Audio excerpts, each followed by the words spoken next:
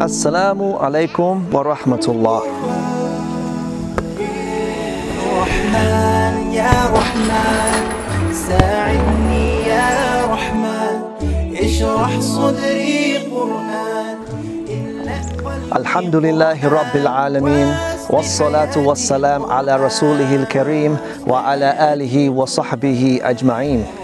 Today I want to remind you about a verse in the Quran which starts with the words شهر رمضان الذي أنزل فيه القرآن The month of Ramadan in which was revealed the Quran.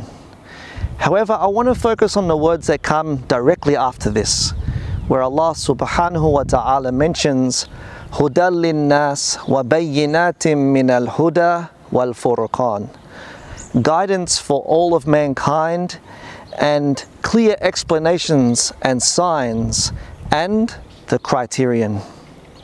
Here Allah calls the Quran a book of guidance and the criterion the criterion between right and wrong, between truth and falsehood, between halal and haram, the lawful and prohibited, justice and injustice, darkness and light. So it's a criterion. And also Allah mentions regarding guidance that إن هذا القرآن يهدي للتي هي أقوم. Verily this Quran guides to that which is most correct. وَيُبَشِّرُ الْمُؤْمِنِينَ الَّذِينَ يَعْمَلُونَ الصَّالِحَاتِ And Allah gives the glad tidings to the believers, those who do good deeds, أَنَّ لَهُمْ أَجْرًا كَبِيرًا That they will have a great reward. Also, Allah refers to the Quran as Al-Furqan. And that's, Allah mentions this in Surah Al-Furqan, where He subhanahu wa ta'ala says, بسم الله الرحمن الرحيم تبارك الذي نزل الفرقان على عبده ليكون للعالمين نذيرا Blessed be he who sent down the criterion upon his servant in order that he may be a warner for all of mankind.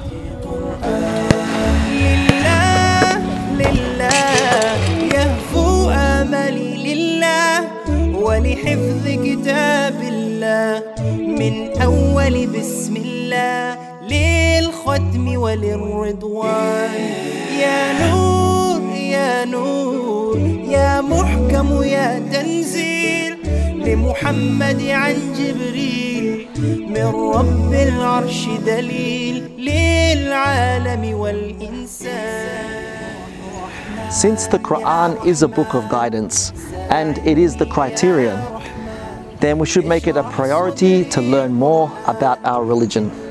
And there's nothing stopping us from picking up a translation of the Quran to try and learn the basic meaning of the words. At the same time, you can go deeper by reading a tafsir book. And don't forget the resources we have available online. So let's set some goals to study the Quran beyond Ramadan.